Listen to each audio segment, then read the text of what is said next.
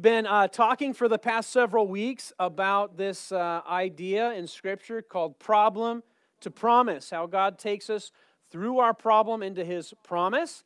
And I believe God's got a good promise for you today, don't you?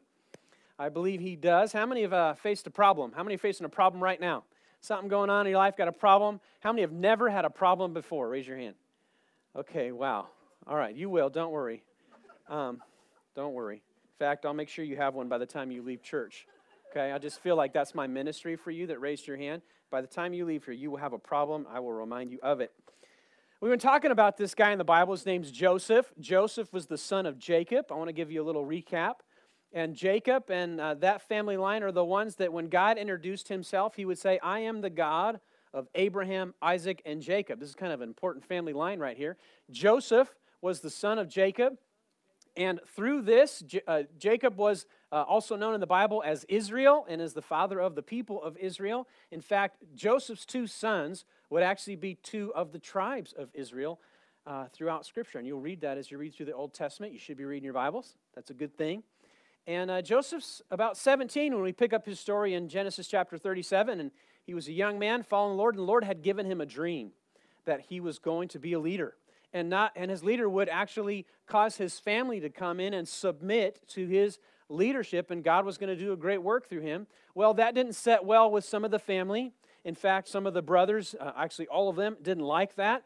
And so they didn't like that his father loved him, loved Joseph. They didn't like that fa- their father loved Joseph and gave him a nice coat and uh, was kind of treating him specially because he was living a life of integrity and a life of moral goodness and following after his father's commands. Well, we left him off last week in the story in Genesis 37. He was on his way to visit his brothers, and they were shepherding their sheep and to give a good report. And his brothers saw him coming, and they said, Here comes the dreamer. Let's kill him. Good brothers, right? Great family reunion. We talked about that last week and how we, we deal with the problem of enemies. Joseph's brothers were his enemies, even though Joseph wasn't their enemy, but they had become so bitter that they became enemies. Well, as the story goes on, Reuben, the oldest, stepped up and said, "Hey, let's not kill him. Let's let's actually just throw him into this little pit here, and we'll you know we'll mess around with him a little bit, pull a little brotherly prank with the intent to give him back to his father." Well, he decided to you know run to 7-Eleven, and when he came back, the rest of the brothers sold Joseph into slavery.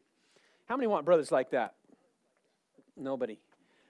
So they sold him into slavery, and uh, they didn't kill him, but he's in slavery, and he's, uh, he's got a problem now that he is a slave. I don't know about you, but I've been noticing this thread through Joseph's life. He kind of goes from one problem to another.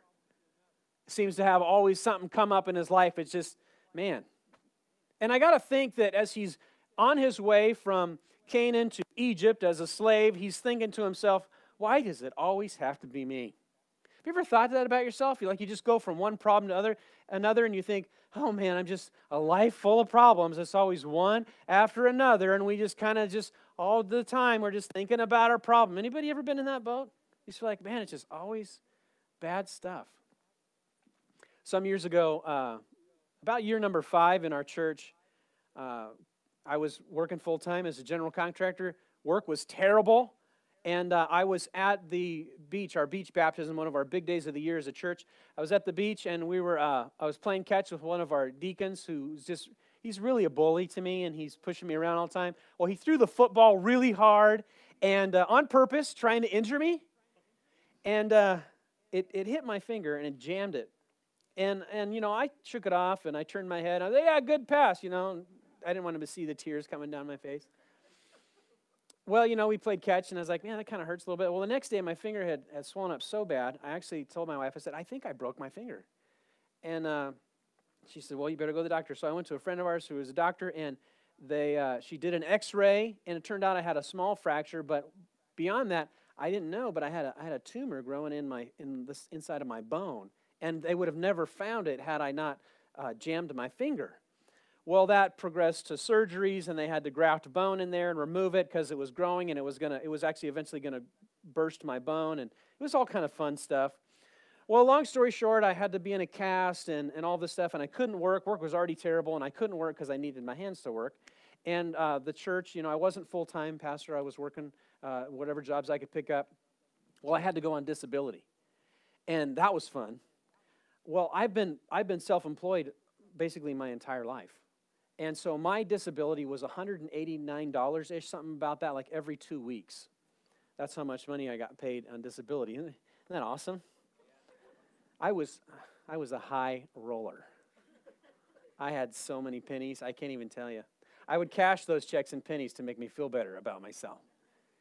Well, you know, we had to have, uh, you know, disability, and then we went in and we got we qualified for food stamps, and and that was we were embarrassed about that. I don't know why. Thinking back, it's kind of lame situation where you kind of need that, and so we did that and we were able to buy groceries and, and i was just thinking oh my gosh this is just one problem after another. And i just felt like man my life is just going to be full of problems. It was a really hard time for us.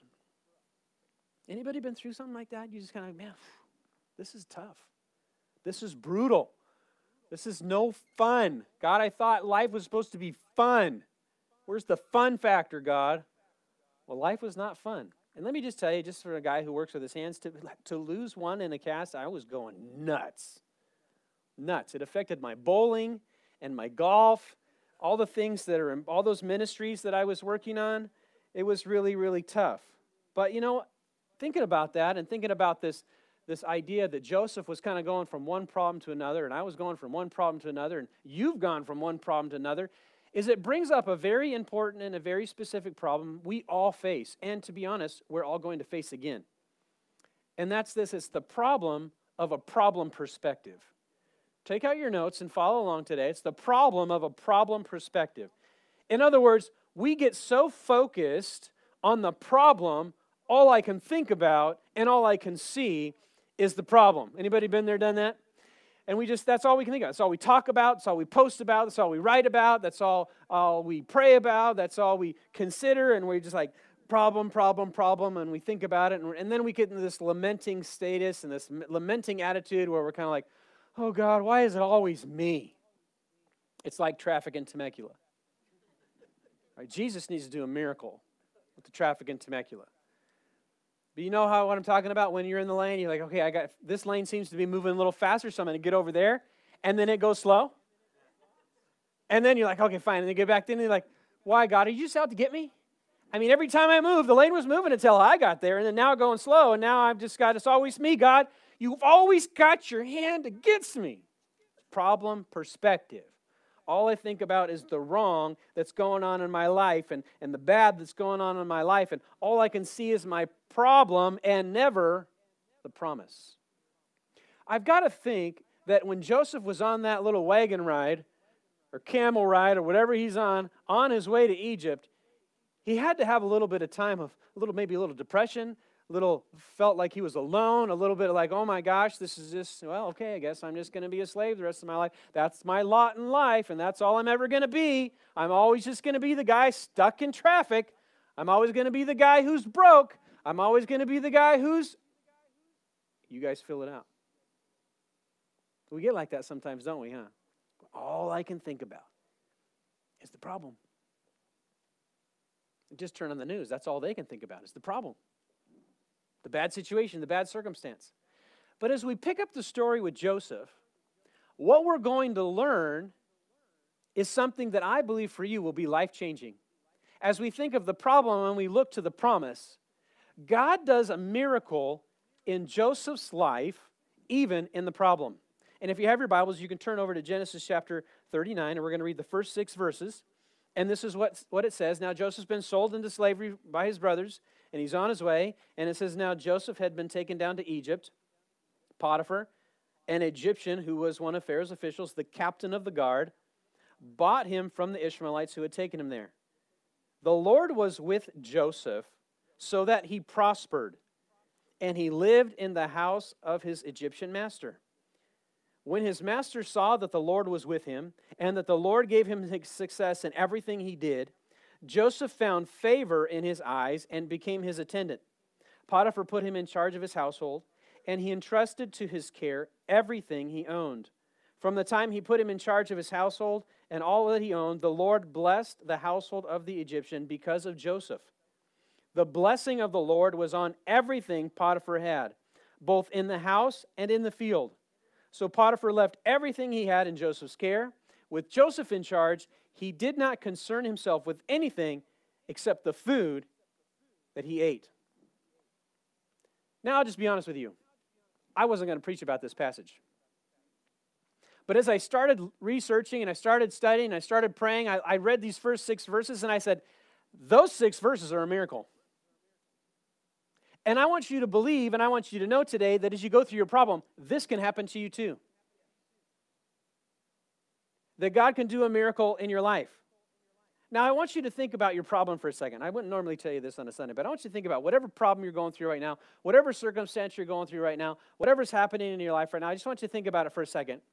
And I want you to kind of relate it to what Joseph's going through. Okay, this, this is my slavery. This problem is my slavery. And I, I am a slave to this problem right now because that's what happens in our life. We become a slave to our problem or a slave to our crisis or a slave to our circumstance. Okay, this thing is kind of holding me in bondage right now. And I want you to really think about it because what I'm about to say, I believe, will change your life. Because Joseph had a huge problem. But as we read through the account of his life, God does a miracle, and he can do the same miracle for you. Because I believe that even in your problem, God can make you prosper. Come on, church.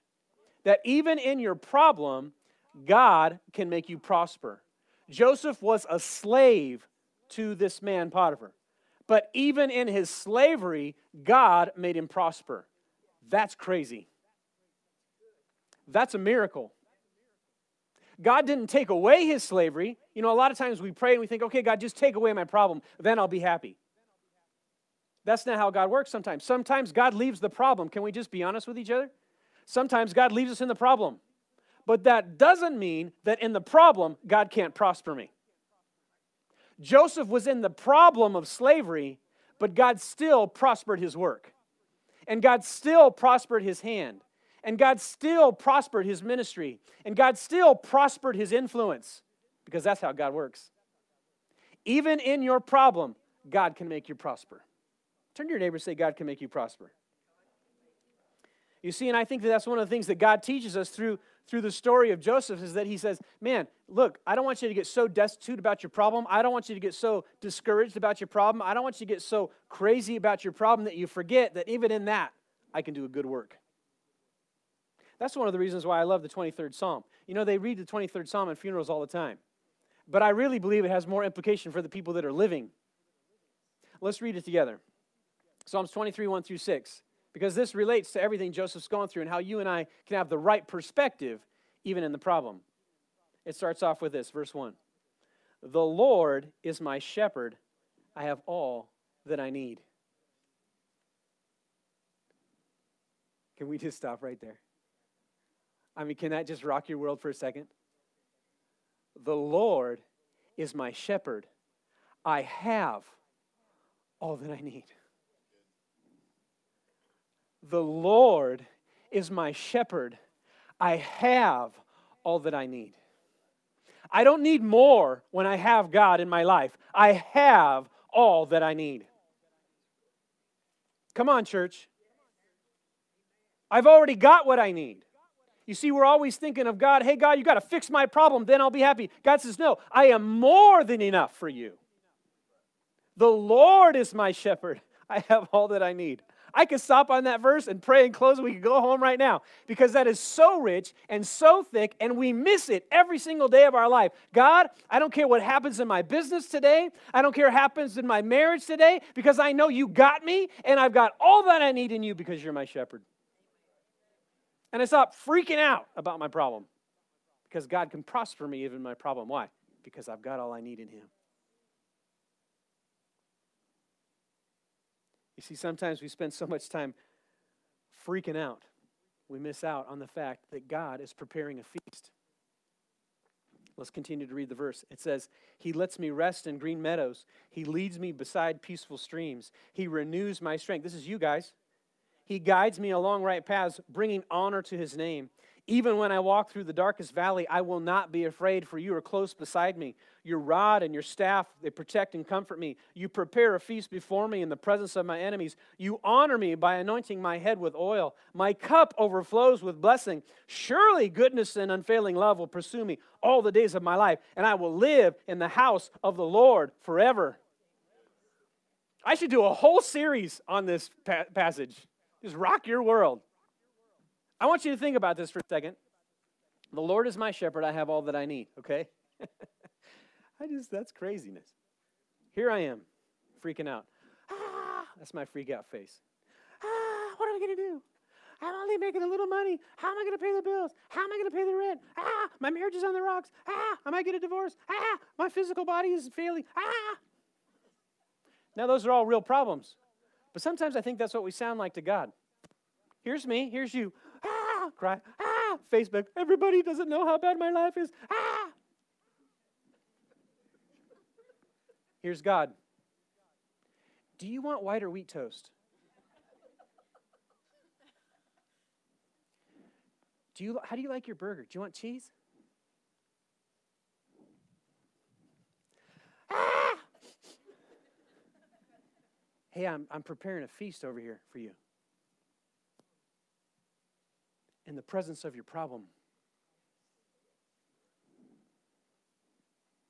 Hey, if you just would come over here and, and we'll eat together. And don't worry about this, bro. You ever notice how God never freaks out? He's never like, oh my gosh, Zach, what are we going to do now?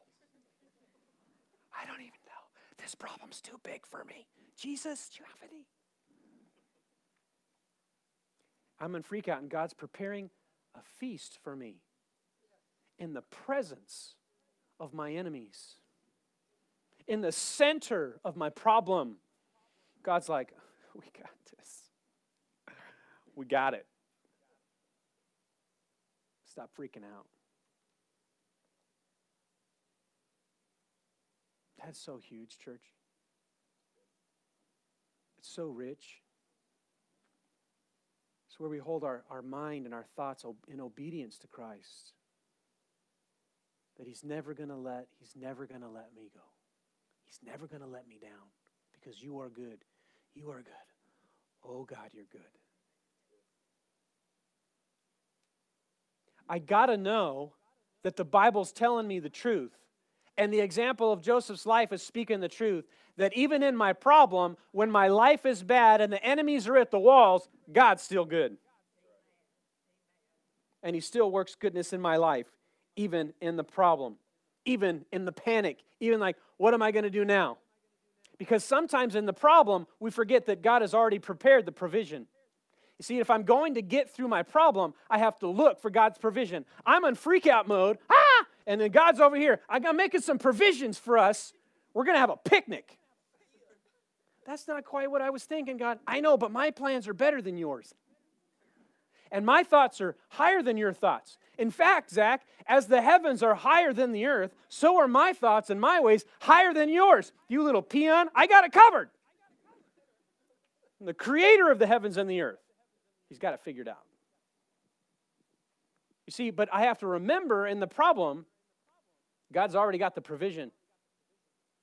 I mean, you think in your life right now, you think what's going on in your life right now, because you're so focused on the problem that you don't remember the provision or you don't think about the provision. I honestly look back to that time of having that, that tumor in my hand and having the surgery and, and, and, and going through that and, and just being, I mean, dirt broke. I, I mean, I was doing all kinds of anything I could do to get you know, everything short of sin I was doing to try and make a dollar. And I honestly look back in that time in my life, I can't even remember how we did it. Honestly, I can't even I can't even remember. I don't even know how it's possible. I look back and I think to myself, I don't even, I don't even know. And God's like, that was me because God's got the provision. And you know, sometimes we get so focused on that that we forget, hey, oh, hey, remember that time you went through that? Remember I was there? So guess what? I'll be here for this one too. Because he's never going to let us go. You see, Psalms 23 5. You honor me by anointing my head with oil. My cup overflows with blessings. My cup overflows with blessings. So, you know what that means? Think about it in Joseph's life. Joseph's a slave in Egypt. I don't know about you, but I guess that's not probably not very fun to be a slave. You got to do everything you're told. You don't get any pay. You just got all these problems and, and you don't have any freedom. You're a slave. And so, in the, in the process of being a slave, I gotta, I gotta know that Joseph said, God, you're my shepherd. I have all that I need, and you are my greatest blessing, not my stuff. And in being my greatest blessing, I know in this process, you are going to be my provision in the problem, because even in my problem, you can make me prosper. And in that concept, in that spirit, I know that because of you, not because of my stuff, my cup overflows with blessing. You anoint my head with oil. The Holy Spirit comes on me. And even my problem, I rejoice in the Lord always. Why? Because my cup overflows with blessing. Why? Just because I have Jesus in my life. Not because of the last thing I ordered on Amazon Prime. You see, we got this kind of like happiness mentality where it's like, okay, I'll be happy if. I'll be joyful if. I'll be happy if I get married. Once I get married, I'll finally be happy. Once I get my new house, I'll, I once I get that promotion, I'll finally be happy. Once I get, I'll be happy. Once I do, you know, and then whatever you want. Listen, my joy is in the Lord. That's where it has to be rooted. Otherwise, it's just circumstantial. And if it's just circumstantial, your joy is going to fail every time. So I got to know that there was some demeanor in Joseph's life as he's going through sl- slavery that it took that it took the people around him to stand up and, and take notice that something's going on with this guy's life. Something's different is happening here, because he didn't find his joy, he didn't find his fulfillment in the circumstance that he found it in the Lord. And that's where you and I find it because our cup overflows with blessings. You ever heard the the, the phrase, the saying says, you know, just you just gotta you just gotta count your blessings, right? Somebody says it to you right when you're going through a problem. You're like, I'm going to beat you with my blessings. You don't be quiet right now. We're like, you always pick the worst time to tell me to be happy. Now's not the time. You know, and the veins are popping out of my eyes. But it's really true. You know, sometimes in life, we, we're so busy counting our problems, we forget to look at the blessing. I, I, I guarantee you that if you went home today and you sat down and you just wrote down five or ten things, and I think actually it's one of your challenges this week, one of your next steps. You're going to go down and you're going to say, hey, how is God blessing you in your life right now? What is it? What way? How about the fact that you're alive? That you get to hear me preach today? Well, that should maybe be one, and then you're alive. I'm sure you can think of some blessings God's doing in your life and not focus on the negatives because God blesses you and God works in your life.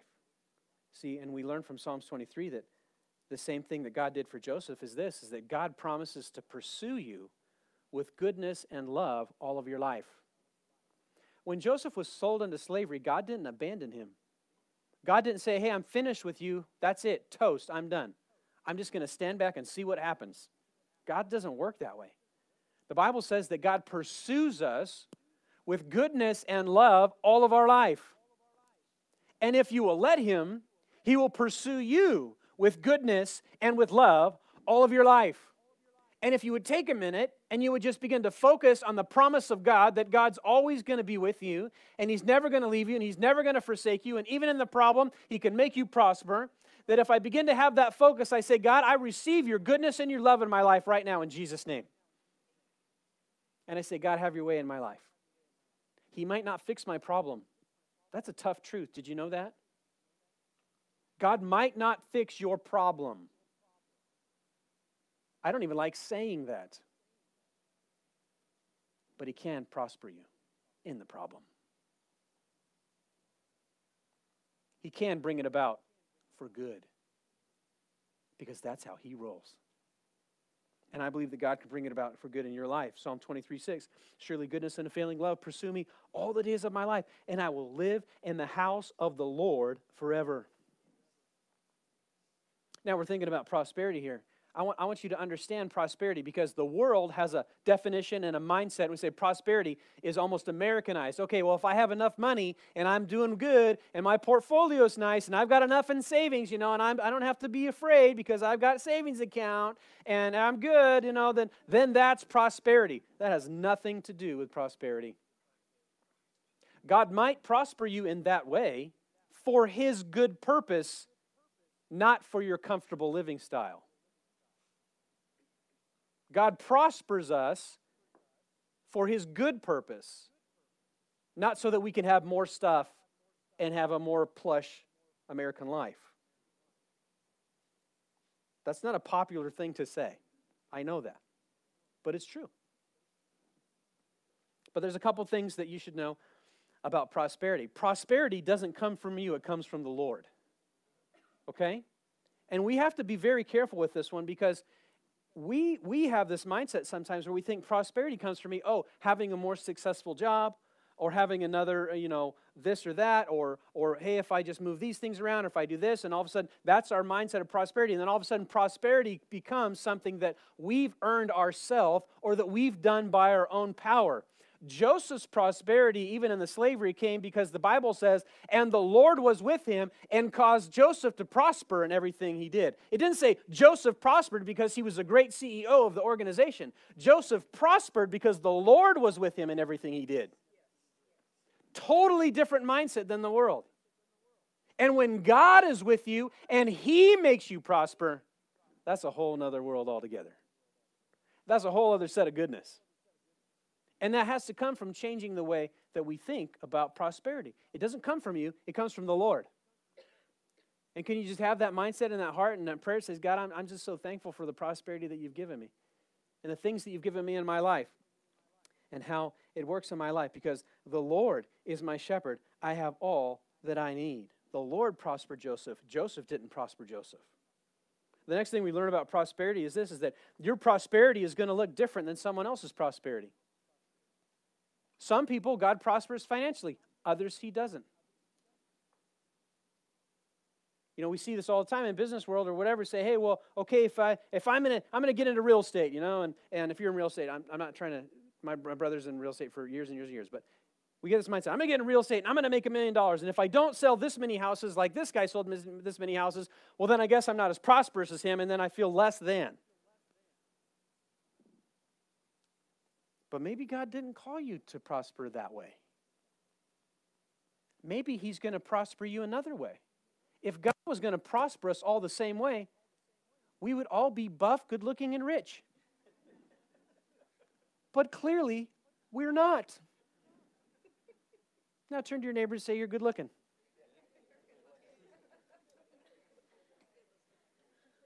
You see, you see how skewed our mind is, though? God does not prosper us all the same way. Yours is going to look different than somebody else's. Look, I know lots of people with crazy amounts of money with a terrible family. The Bible actually says, Woe to the rich. So we have to not think in an American platform where we think, oh, that's my, that's my exclamation point on my prosperity, is that my, my success in stuff and things and finances is what God. Pro-. No, it's going to look different. Now, does that mean that uh, I'm not prosperous? Yeah, I just, we, Laura and I were just talking the other day that, you know, um, she was lamenting to me. You know, she's watching online. Hi, honey. Uh, she was lamenting to me how, you know, we've been together now for, you know, almost a quarter of a century. We've been married for 22 years. We've been together now for almost a quarter, quarter of a century. She's like, oh, look how much I've been through. And she wasn't. I'm just kidding. but now, now think about it. God has blessed me with a great marriage and a great wife. Does that mean that because your marriage failed and you ended in divorce, that God's not prospering you? No. You see how it's not circumstantial? God works out in our problem His blessing according to His good purpose. So don't compare your prosperity to someone else's. You're just going to be depressed. But if the Lord is all you need, because He's your shepherd, I prosper according to His good design and His plan for my life. So God's prosperity is going to look different. Yours, yours is going to look different than other people's. See, prosperity is really defined as God's blessing. Everybody say God's blessing. Yes, God's blessing. And the, the, the, next thing we learn about prosperity is this God's blessing in your life is a witness to the world. Everybody say witness.